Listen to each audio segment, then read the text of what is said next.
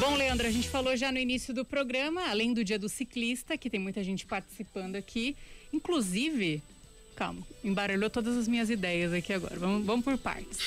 dia do ciclista e é dia também mundial do desenhista. Por que, que eu me enrolei toda? Porque eu lembrei que João Lima, tatuador, também é ciclista. Então a gente vai falar tudo hoje com ele.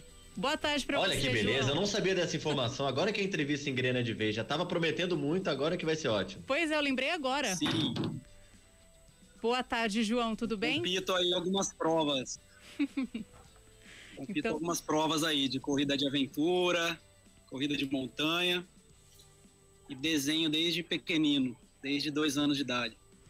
Pois é, João Paulo Lima da Costa começou a carreira como tatuador aos 17 anos, sempre teve um contato muito próximo com fauna e flora, filho de veterinário, tem um gosto já para desenhar que vem da infância e aí formou-se em artes visuais pela Unicamp. Hoje realiza sonhos, ele cria animais, plantas nos corpos dos clientes que o procuram.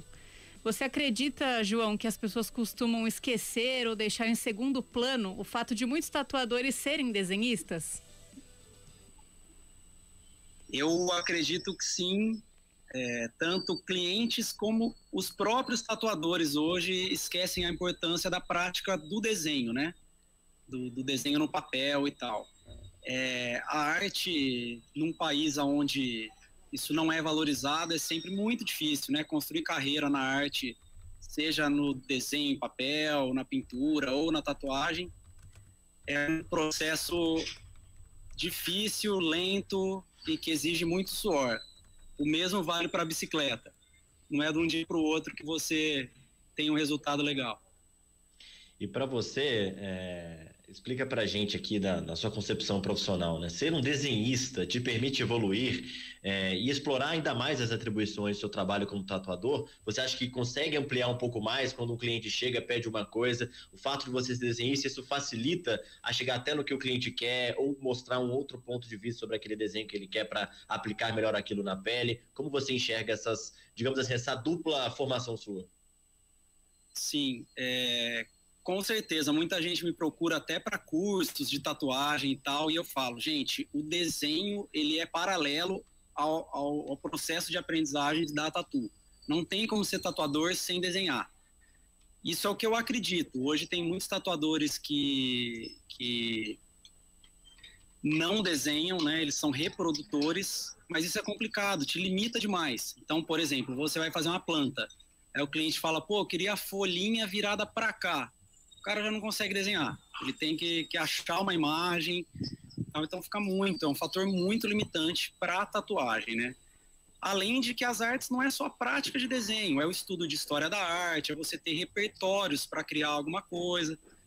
Então, para mim, é, é, essencial, é totalmente vinculado ao processo de tatu.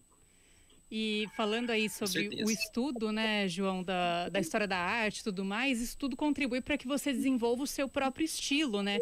Porque muito se fala sobre tatuadores que não são muitos, né, mas que tatuam de todos os tipos de estilo e tudo mais, dizem para não confiar nessas pessoas que tatuam de tudo. O que, que você acha disso? É.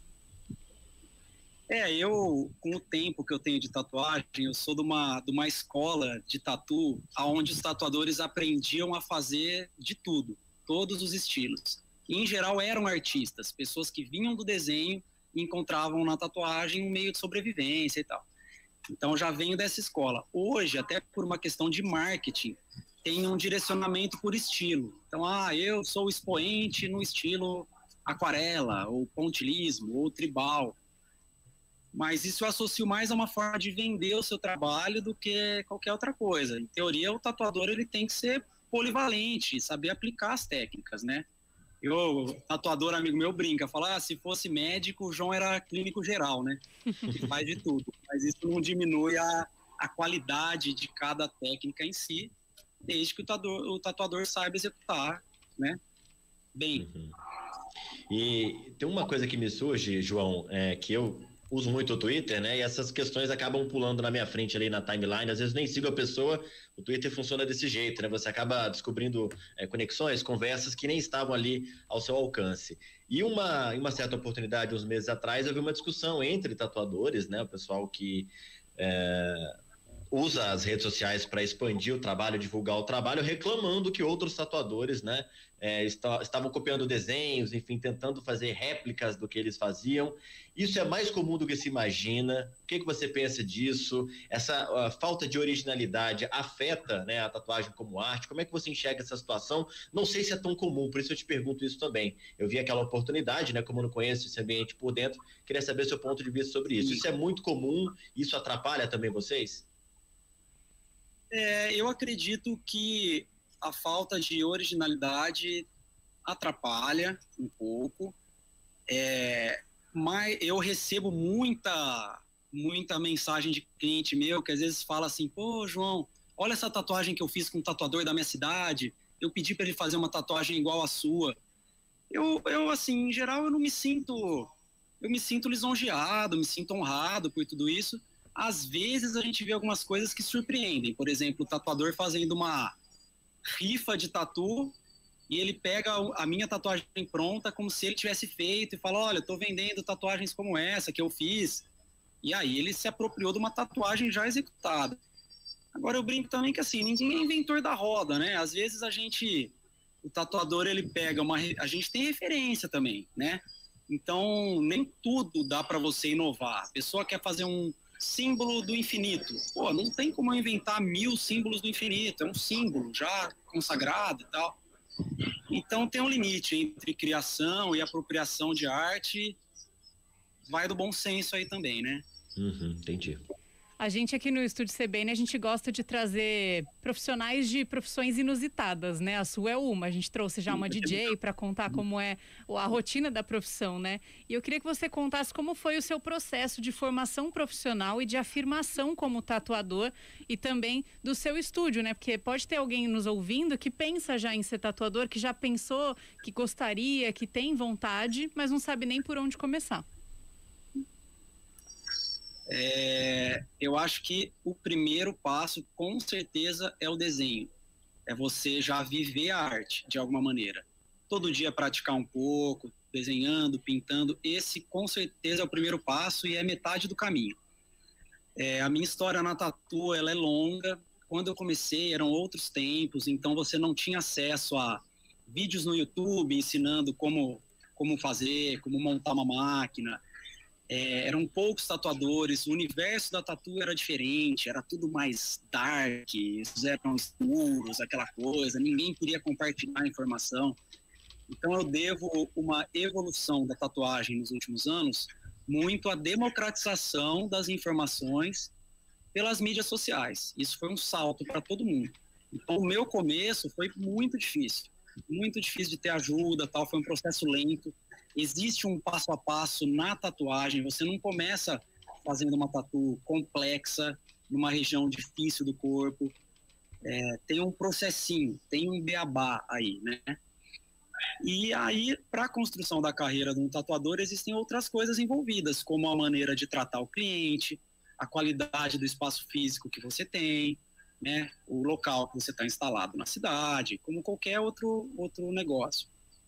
Uhum. Essa parte do tratamento com o cliente é cada vez mais importante, né? Num mundo que, que tem estado tão frio, é, o jeito que você trata as pessoas, a relação que você estabelece com cada cliente é essencial para você ter sucesso na carreira. Uhum. E para a gente aprofundar esse, esse assunto a respeito da, da, tatuagem, né? Você falou desse boom que uhum. ocorreu nos últimos anos, também com a, com a internet, com as redes sociais. É, é, bom, é importante a gente lembrar né, que o preconceito ele tem diminuído, né? Com pessoas que têm tatuagem, pessoas Muito. que querem fazer tatuagem e, e sentir uma resistência do entorno, seja da família, seja é, dos amigos, enfim. As pessoas estão fazendo mais, indo atrás, né? Da, da, de realizar essa vontade. E a gente sempre diz aqui, né? A gente, uma vez eu entrevistei um tatuador em outra oportunidade de fazer uma matéria e ele falou uma mensagem no final que não tem idade para fazer, né? É importante a gente lembrar isso, né? Se você tem uma vontade, faz parte ali da busca do que você quer para o seu corpo. Acho que é legal falar sobre isso, né, João? É, a tatuagem, a tatuagem ela vem ganhando uma abertura, né, enorme e crescente ao longo dos anos, uma quebra do preconceito. Então, hoje eu tatuo pessoas de todas as profissões que você possa imaginar, idades, vem família, vem a filha com a mãe, com a avó, fazer uma tatu juntas. É, é engraçado até que eu não sei se vocês sabem, mas eu sou um tatuador que não tenho tatuagens, né? Então eu, eu até já sofri muito preconceito às avessas no mundo da tatu, né? Por, por não ter. E é uma pergunta que eu ouço todo dia dos clientes, pô, mas você não tem tatuagem e tal? E aí eu falo, pô, não é verdade que o, a, a, capa do disco não importa, né? O exterior não importa? Então, não faz se eu tenho ou não. Mas eu não tenho tatu. É, Isso é curioso, tem algum motivo, João? Tem algum motivo? Desculpa te interromper, mas tem algum motivo? O motivo é justamente esse, que quando eu comecei lá atrás, eu comecei a sofrer muito preconceito no mundo da tatu. Uhum. Isso me incomodou. Falei, cara, se não importa o preconceito, hoje tatuador consegue ter uma vida legal, ter um salário legal, por uma quebra de preconceito.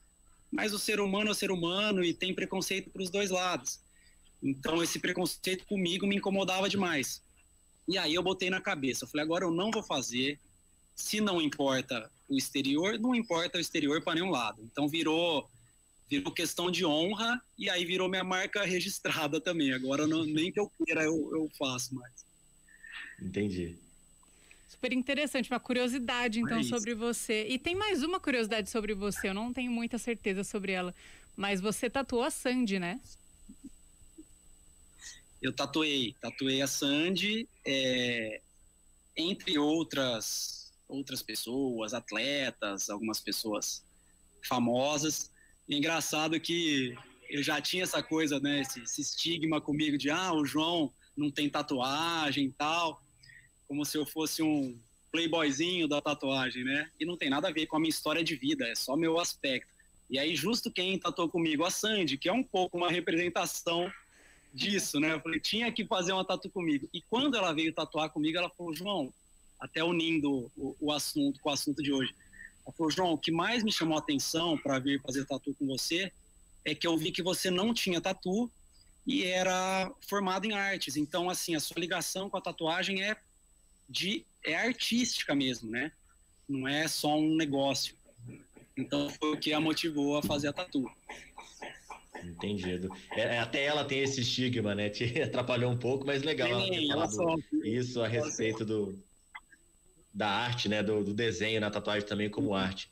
Muito obrigado por essa entrevista. Valeu por falar conosco um pouco sobre a sua realidade, a sua atuação, a sua profissão. João Lima, tatuador. Falando hoje aqui no Dia Mundial do Desenhista, ele que também é desenhista, formado em artes.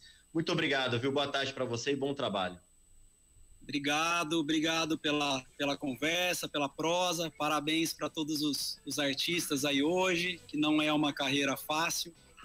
Então, valeu. Obrigado pelo papo, gente. Parabéns em dose dupla para você pelo dia do desenhista e pelo dia do ciclista. Quem sabe numa próxima oportunidade a gente fala agora sobre bicicleta aqui com você, João. Muito obrigada. Com certeza, valeu. Vamos para intervalo e a gente já volta.